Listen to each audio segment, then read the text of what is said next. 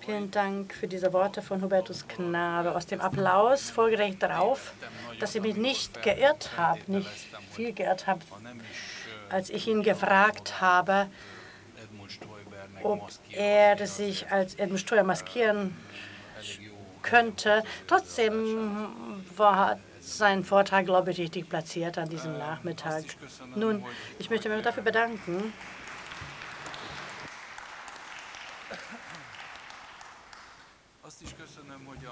dass die Freude auch so deutlich gemacht worden ist und auch diese komische Widersprüchlichkeit der Situation auch beleuchtet hatte. Denn manche haben schon kurz nach dem Systemwechsel darauf hingewiesen.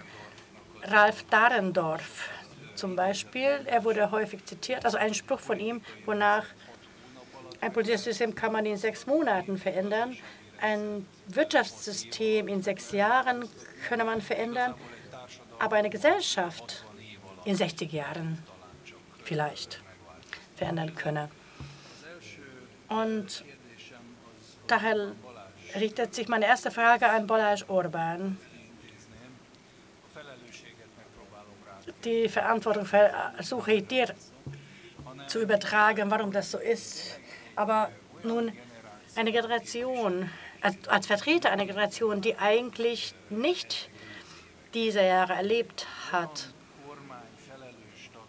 als Mitglied einer verantwortlichen Regierung, auch vor allem in einer strategischen Position, also wo die Gedächtniskultur von großer Bedeutung ist. Also als Mitglied einer solchen Regierung, wie siehst du das denn? Die 60 Jahre, von dem Ralf Dahrendorf gesprochen hat, stimmt das deiner Ansicht nach oder könne man, kann man diesen Prozess beschleunigen? Was kann man überhaupt tun dafür?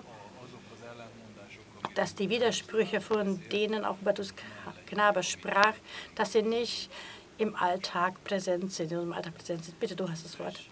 Als erstes möchte ich alle recht herzlich begrüßen. Ich bin sehr froh, dass ich mit dabei sein kann und ich freue mich auch darüber, dass ich diese Rolle bekommen habe. Ich darf hier sozusagen das Ferkelchen auf dieser Konferenz sein. Ich bin gerne als jungscher, junger Bursche hier dabei.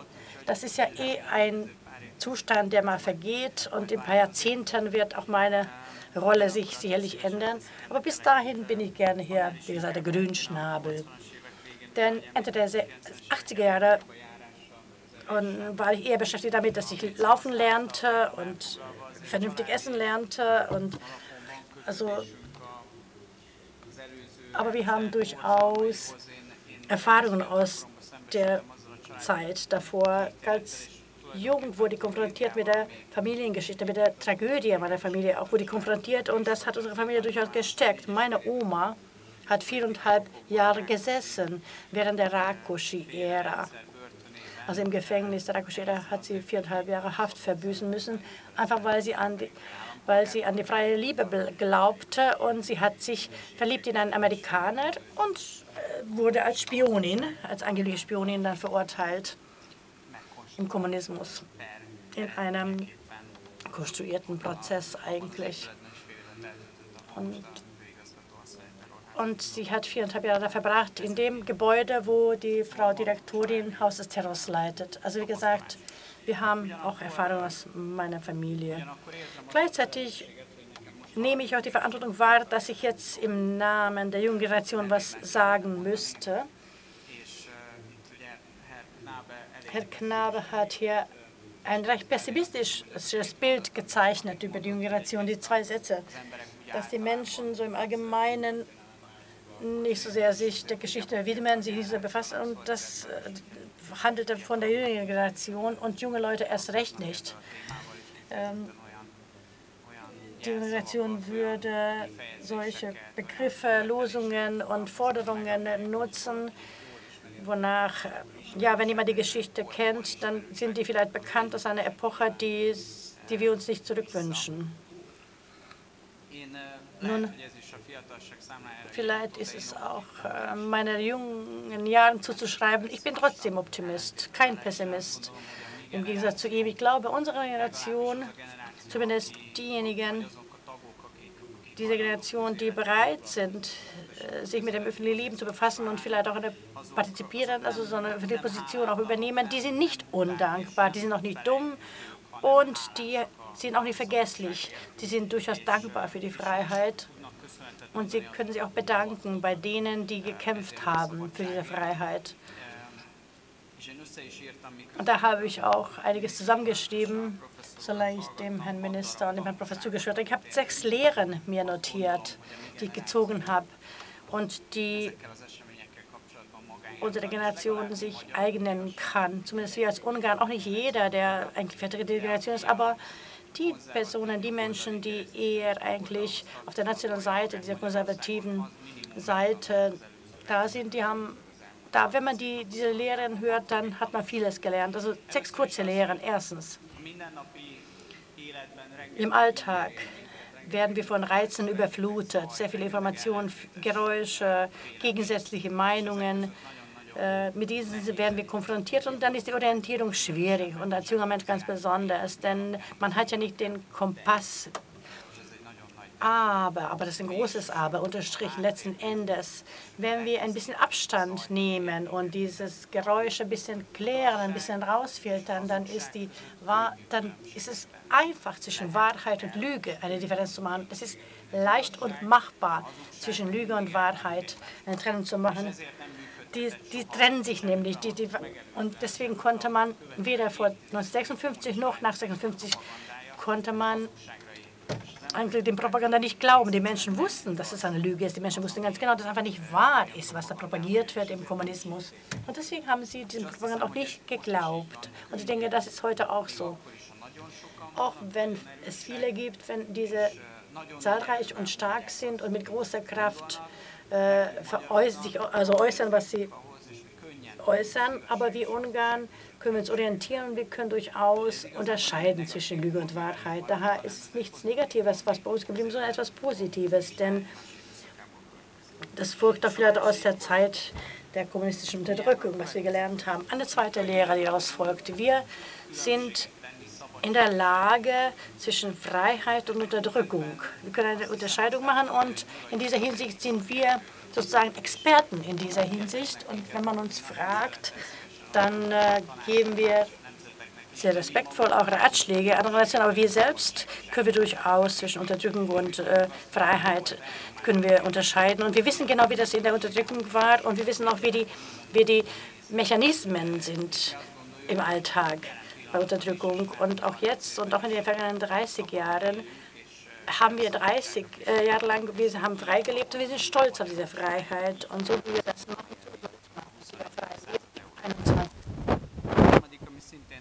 das ist eine dritte Lehre in diesem Zusammenhang, aber ähm, lautet so, der Frieden und die Sicherheit, Frieden und Sicherheit sind keine Gegebenheiten. Keine, seitdem ich natürlich lebe, gibt es äh, Rechtsstaat, Stabilität, Sicherheit nach den ersten Jahren des äh, Durcheinanders, aber es gibt Freiheit, Frieden, Sicherheit gibt es. Also wenn ich nur von eigen, aus meinen eigenen persönlichen Erfahrungen ausgehe, kann ich denken, dass es gar nicht anders sein könnte. Das dürfte gar nicht anders sein, das dürfte sich gar nicht anders Weil wir zu achten, was man uns, was wir lernen können aus der kommunistischen Zeit und aus der Zeit der, des Systemwechsels, der Wende, dann wissen wir auch, dass der Friede nicht gratis gegeben wird, dass man für den Frieden kämpfen muss. Ich habe auch politische, ich, ich unterrichte politische Philosophie an der Uni und Ambrogio Lorenzo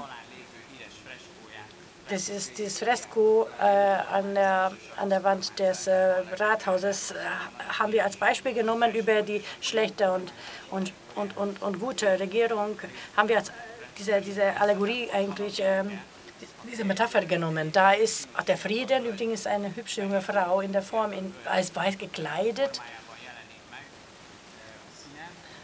Oh und liegt auf einem Sofa, diese Dame. Aber damit der Frieden bei diesem guten Gouvernement auch liegen kann und auch nichts tun, da müssen alle anderen Tugenden arbeiten. Da sieht man an, auf diesem Fres an diesem Fresko, da arbeitet der Mut, die Klugheit, die Schlauheit, die Einheit, die Wissenschaft. Damit also, damit der Frieden tatsächlich sich ausruhen kann, müssen alle anderen Tugenden aktiv sein. Sonst kommt es nicht dazu und es wird Probleme geben. Und wenn der Frieden verloren geht, dann geht alles verloren. Vierte Lehre, vierter Punkt. Die Einheit ist eine seltene Gabe. Als junger Mensch, vielleicht ist es äh, merkwürdig, dass ich als junger Mensch äh, so realistisch bin, aber wir Ungarn akzeptieren das mehr. Wir sind zwar ein Volk, das gerne sich streitet und diskutiert, nur in kritischen Situationen, kritischen Lagen sind wir in der Lage, in Einheit zu denken und Einheit zu handeln.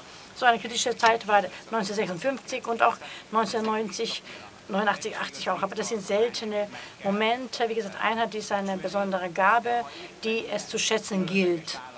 Und wenn es keine solche Gnadenmomente gibt, dann ist ein politischer Kampf eigentlich im Alt grauen Alltag da. Das Problem liegt da, wenn die grauen, im grauen Alltag die politischen Kämpfe und die daraus sich ergebenden äh, Meinungen und die Pluralität da ist und die Konflikte, wenn diese halt nicht auf, das Ziel, nicht auf der Tagesordnung sind, denn da würde es Diktatur geben und keine Freiheit und das wollen wir natürlich nicht. Fünftens, eine Lehre, eine europäische Lehre. Europa kann man nicht trennen, künstlich nicht trennen. Das hat man versucht im 20. Jahrhundert, vielerlei Art und Weise. Das ist aber nicht gelungen. Europa bildet eine organische Einheit. Europa gehört zusammen. Wir haben das kodiert in unseren Zellen eigentlich, in Ungarn auch. Wir sind Europäer. Aber es ist, man kann auch Europa nicht in Reiche auseinander organisieren, egal mit bester Absicht vielleicht, ob Marxist, Kommunist oder, oder Nationalsozialist oder, oder die napoleonischen Logik, also Gedanken. Egal wer versucht hat, Europa äh, auf Reiche aufzuteilen, der wird gestürzt. Das ist zum Scheitern verurteilt. Europa ist Nation, äh, Europa der Nationen, aber die Nationen sind es, die für die Zukunft Europas und für die Sicherheit Europas zuständig sind. Und mein letzter Punkt, den ich mir notiert habe, ist, wo er auf, auf John Sullivan auch hingewiesen hat. Die Geschichte ist noch nicht zu Ende und überhaupt ich als konservativer Politiker und Mensch hat auch keine Richtung.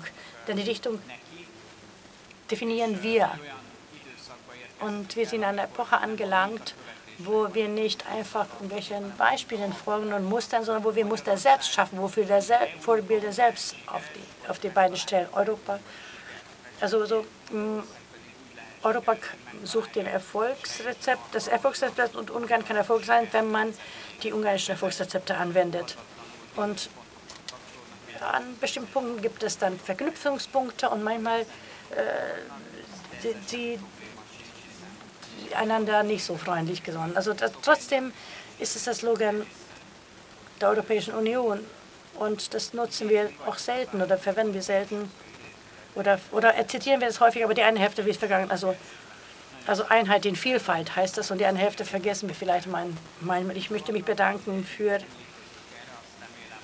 Ihr Kommen, Ihr Beisein, dass wir uns gemeinsam erinnern können und dass bei dieser Reihe von Erinnerungen auch im öffentlichen Bewusstsein dabei ist und dass die jüngere Generation auch ähm, hilft dabei, ein Bild von der Gegenwart und der Zukunft zu schaffen. Ich mit meinen bescheidenen Mitteln bin ich auf alle Fälle dabei, einen Beitrag dazu zu leisten. Vielen Dank für die Aufmerksamkeit.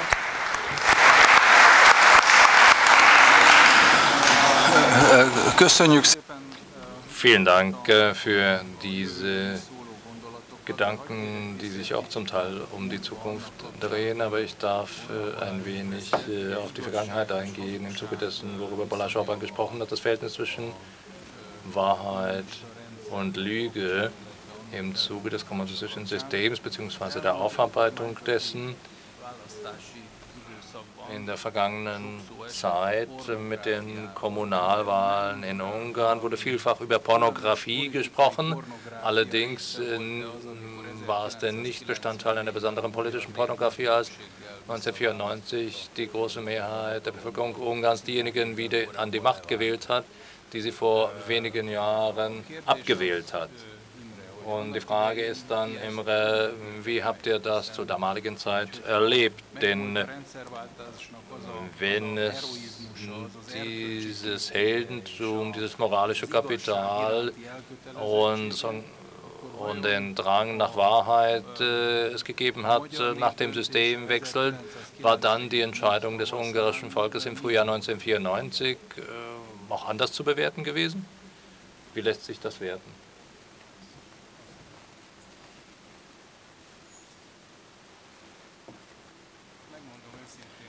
Ich muss da ehrlich sagen, dass äh, die große Enttäuschung äh, uns äh, nicht 1994 widerfahren ist, sondern fast sofort nach der Regierungsbildung. Nun, wir haben das so aufgefasst und Sabbat hat es so zum Ausdruck gebracht, der ehemalige runde Tisch der Opposition wurde jetzt äh, mit den Parteien des oppositionellen runden Tisches wurden jetzt äh, ins Parlament gewählt. Sie wurden ins Parlament gewählt äh, und wir haben das nicht so aufgefasst, dass es eine Regierungsseite gibt. Wir sind ja die Regierungsseite geworden und der restliche Teil wäre dann Opposition. Und äh, von nun an haben sie auch Riesenkämpfe untereinander auszufechten. Und Jötzabat hat gesagt, äh, wir sind die Opposition, die an die Regierung gekommen ist, und die anderen sind die Opposition, die an die Opposition gekommen ist. Denn die oppositionelle Einstellung, die sich in der Demokratie ergibt, ist eine komplett andere Form der Opposition, nach unserem Konzept zumindest, als es hieß, Opposition zur Staatspartei zu sein. Und wir hatten das Gefühl, dass ja natürlich das, was Balázs Orban hier gesagt hat, selbstverständlich ist, dass man in der Demokratie keine Einheit hat. Das liegt auf der Hand. Man muss diskutieren und streiten und verschiedene Ansichten werden dabei manifestiert. Aber in den grundlegenden Fragen der Nation muss man Einvernehmen finden. Und äh, da ist die Betonung auf beiden Seiten. Und zwar grundsätzliche Fragen für die Nation. Und erlauben Sie mir ein wenig subjektiv zu werden und zu sagen, dass ich eigentlich von der national geprägten Emotion in die Politik gebracht hatte. Und zur damaligen Zeit, als mein Geist begann zu erwachen, bin ich deshalb im siebten Bezirk am Platz der Rosen gewesen. Manche wissen das ja bei der Messe um 12 Uhr nicht zur Schülermesse, weil dort zum Schluss die Nationalhymne gesungen wurde. Und ich kann es nie vergessen, wie es war im Volksstadion. Das ist äh, der Vorgänger des heutigen Ferenc-Puschka-Stadions. Und was für ein Zirkus heute da ist, dass 63.000 Leute in ein Stadion passen. Zur damaligen Zeit waren 98.000 dort.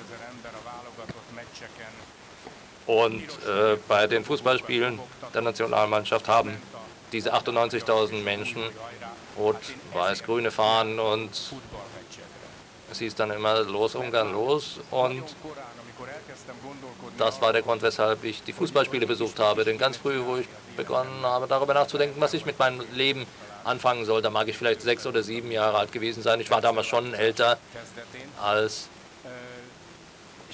zu Beginn der Sache der Vorredner bei der Wende war. Und ich habe auf jeden Fall gedacht, dass ich mehr leisten soll, als im eigenen Interesse liegt und auch mehr als die Familie. Ich soll nicht für die ganze Welt, für die Menschheit etwas machen, das war für mich nicht attraktiv, sondern zu weit entfernt, aber für die Nation. Das ist nämlich die Gemeinschaft, äh, die noch nahe genug ist, um sie zu greifen. Und auf der anderen Seite ist das doch ein wenig mehr als das bloße Ich oder meine Familie. Das hat mich in die Politik gebracht und das war mein Gefühl gewesen. Ich war nämlich der Meinung, dass äh, wenn die Menschen hier das Gefühl frei ausleben können, zu einer Nation zu gehören, denn Die Deutschen hielten das ja anders nach dem Zweiten Weltkrieg, nach den zehn Jahren des Nazisystems, nach der Diktatur folgte ja nichts, eine andere Art der Unterdrückung, zumindest spreche ich da über den westlichen Teil Deutschlands, und es folgte nicht diese Unterdrückung auf die andere. Aber bei uns war es so, dass eine fremde Unterdrückung, die zwar kurzzeitige, aber doch deutsche Besetzung, wurde abgelöst von der sowjetischen Besatzung, von der russischen Besatzung, die ja 40 Jahre angedauert hat. Und ich dachte, und äh, das hat Shandor Chori sehr gut damit charakterisiert, dass er gesagt hat, dass bei uns die Pfeilkreuzer die Schreckensherrschaft der Pfeilkreuzler ein knappes Jahr gedauert hatte, dass äh, nach der kurzen Zeit des Nationalsozialismus kamen Jahrzehnte des unnationalen Sozialismus, nicht in jedem Land und nicht in allen als sozialistisch bezeichneten Ländern war das typisch. Es gab Orte, wo man das Nationalgefühl ausleben durfte. In Ungarn nicht. In Ungarn war dieser Sozialismus unnational. Und ich dachte, dass wenn die Freiheit kommt und die Menschen frei ihr Nationalgefühl ausleben können, dann werden sie auch die Widrigkeiten ertragen, die unweigerlich damit einhergehen. Und wir wussten sehr wohl, dass die Veränderungen schreckliche Schwierigkeiten mit sich bringen werden, dass, wie gesagt, diese Schwierigkeiten dann erduldet werden, die grundsätzlich von den 40 Jahren Kommunismus verursacht worden sind, aber uns angekreidet werden. Wir hatten aber nicht gedacht, dass wenige Monate nach dem Regierungswechsel eine Blockade der Taxifahrer in Budapest stattfinden soll. Das hatten wir uns nicht gedacht. Und das ist ja in Ordnung, dass es nur die Taxifahrer waren. Aber zumindest in den ersten Tagen dieser Taxifahrerblockade sich auch die einfachen Leute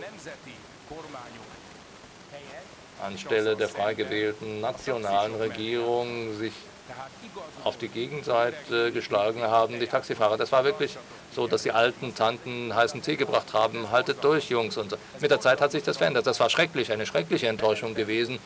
Ich bin da zu Josef Antol in die Klinik. Er saß am Rande seines Bettes, sah mich an und sagte, wir haben gedacht, es gäbe eine Nation. Das hat er mir gesagt.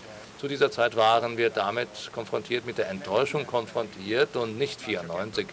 Das folgte erst dadurch, aber im Zusammenhang zu 94 darf ich darauf hinweisen, dass äh, diese Regierung äh, die einzige war unter den ehemaligen sozialistischen Ländern, die ihre vier Jahre, die volle Legislaturperiode gedient hat. Sie ist nicht gescheitert.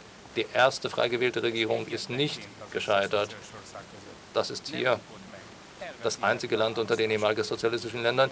Sie hat die Wahl verloren und sie ist nicht in die Zwischenwahlen gegangen. Und ich möchte das betonen, wenn man das richtig bedenkt. Antal hat ja gesagt, das sei eine Kamikaze-Regierung. Äh, liegt auf der Hand, dass er im Stillen, im Geheimen gehofft hatte, dass es nicht zu einer Wahlniederlage kommt. Aber trotzdem haben wir klar abgesehen, wenn man ganz tief in sich gegangen ist und äh, im ersten Augenblick äh, mag es vielleicht das Verhalten der Opposition sein, das große Enttäuschungen bereitet hat und der nächste Augenblick war die Zeit der Blockade durch die Taxifahrer. Wenn nicht an anderer Stelle, dann hätten wir zu dieser Zeit auch sehr wohl daran denken sollen, dass es doch sehr wohl kein leichtes wird, nicht kein einfaches wird mit den ersten vier Jahren. Und es kann sehr wohl sein, dass im Nachgang äh, nicht die oppositionellen Parteikollegen folgen werden, die mit so großem Elan in den Kampf gezogen sind, in den Kampf gegen uns gezogen sind, sondern dass sehr wohl die Kommunisten wiederkehren. Das ist 1994 passiert. Als, damals haben wir das als Realität aufgenommen, wahrgenommen. Dankeschön, allmählich neigen wir uns dem Ende unserer Zeit zu, aber ich möchte doch darauf zurückkommen, was Hubertus Knabe hin hat Revue passieren lassen, und zwar im zweiten Teil seiner Ausführungen was den Realitätssinn und äh, den Skeptizismus verdeutlicht hatte. Meine Frage in diesem Zusammenhang ist, äh, dass, wie ist es denn eigentlich möglich oder wodurch lässt sich das im öffentlichen Leben Deutschlands erklären, wo ja, und äh, das schulden wir vielleicht den Kommunisten in Ungarn, dass die Härte der 80er Jahre hier doch völlig anders war als damals in Deutschland. Wie kann es doch sein, dass diese Art von Gedächtnisverlust, diese Art von Amnesie so schnell über die Öffentlichkeit in Deutschland hereingebrochen ist? Wie ist es denn möglich, dass ein Gregor Gysi, über den jeder gewusst hat, welche Rolle er gespielt hat im Einparteienstaat, bereits äh, ab Anfang der 90er Jahre in sämtlichen Talkshows, sämtliche Fernsehsender ein Star geworden ist. Und äh, wie ist es denn möglich, und das ist eine komplett äh, aktuelle Nachricht, dass äh, selbst die deutschen Christdemokraten erst jetzt, erst vor wenigen Wochen klargestellt haben, dass man die DDR als Diktatur bezeichnen darf und es sei nicht nur ein bloßer Unrechtsstaat gewesen. Was war der Grund gewesen, dass äh, man dem ins Auge geschaut hat? Es gab natürlich die Gauk-Behörde, es gab vieles. Aber in der Öffentlichkeit ist es doch diese Verhaltensweise, die es eher zugelassen hat, diese Ansichten zu haben. Warum ist das der Fall?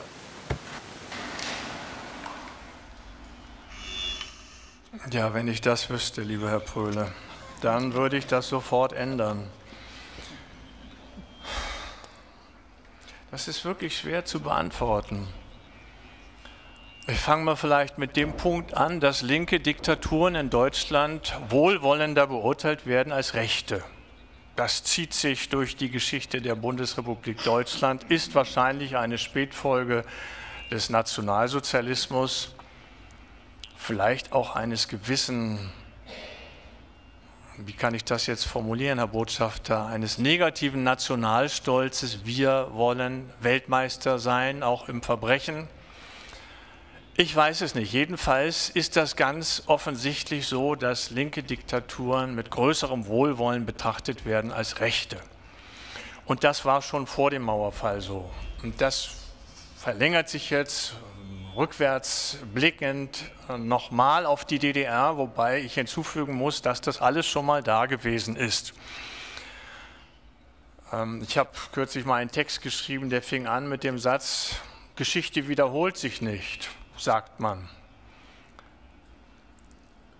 Daran habe ich inzwischen Zweifel, weil ich das alles schon mal erlebt habe. Dass wer den Sozialismus kritisiert, als rechts hingestellt wird, wer äh, die DDR äh, so darstellt, wie sie war, gilt als nicht objektiv und so weiter und so fort. Ich war äh, regelmäßig auch bei den DDR-Forschertagungen in der Bundesrepublik und ich entsinne mich, da waren also diese ganzen hochkarätigen Wissenschaftler, die dann noch zu der Schlussfolgerung kamen, die DDR ist die zehntstärkste Industrienation der Welt. Und die DDR und die Bundesrepublik würden sich immer ähnlicher, weil sie beide Industriegesellschaften sind. Und deswegen würde das später praktisch automatisch eins werden. Oder die Theorie, man dürfe die DDR nur immanent kritisieren, war wirklich ein Dogma damals in der Zeit. Also man durfte nur das kritisieren, was ihren eigenen Maximen widersprach, aber nicht, was vielleicht dem gesunden Menschenverstand oder anderen Kriterien widersprach. Die sogenannte immanente Methode. Und diese Dinge, die werden jetzt reaktiviert. Und wenn man sich fragt, warum linke Diktaturen populärer sind als rechte oder wohlwollender beurteilt werden, dann hängt das natürlich auch mit der Qualität linker Ideologien zusammen.